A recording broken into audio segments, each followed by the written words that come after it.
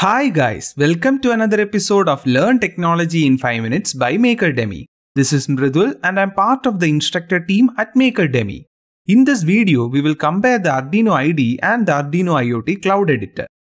As the name suggests, both the platforms are developed by Arduino and are used to program the development boards.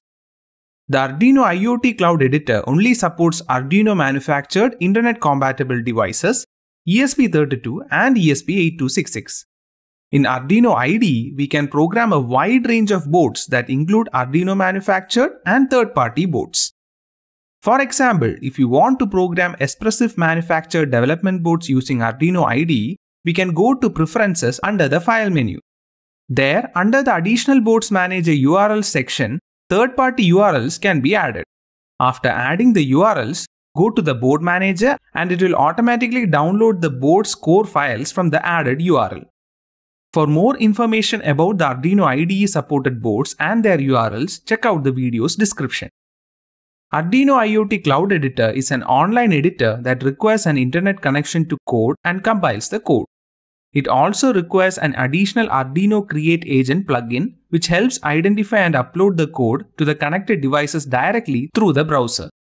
On the other hand, Arduino IDE is an offline tool that needs an internet connection for updating the libraries and boards. Arduino IoT Cloud Editor has 700 plus built-in libraries which can be directly accessed by just including them in the sketch. In contrast, the user must manually install the required libraries through the Manage Libraries option available in the Arduino IDE. However, the Arduino IDE has the upper hand in libraries as users can add custom libraries. If you want to debug your code, the Arduino IoT Cloud Editor is not the right option as it does not have a debugger. However, there is a debugger available in the beta release of Arduino IDE version 2.0 which can be helpful to you. As you code in Arduino IoT Cloud Editor, it automatically synchronizes the code to its online database. This synchronization can sometimes create glitches. Also, the code is compiled on Arduino's online server, thus it generally takes longer to compile than it takes on the offline version. However, being online means that the code can be accessed from anywhere through a browser.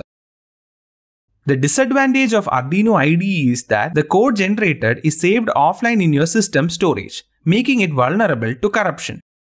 Arduino has provided serial monitor and serial plotter functionalities for visualizing serial data. Both functionalities are available in the Arduino IDE, but the Arduino IoT Cloud Editor only provides functionality for the serial monitor. The user can also burn the bootloader to the microcontroller unit through the Arduino IDE by making some hardware arrangements. But the Arduino IoT Cloud Editor only supports sketching, compiling and uploading the code. That is all folks. If you like this video, smash the subscribe button and ring the bell to be updated about our future video releases.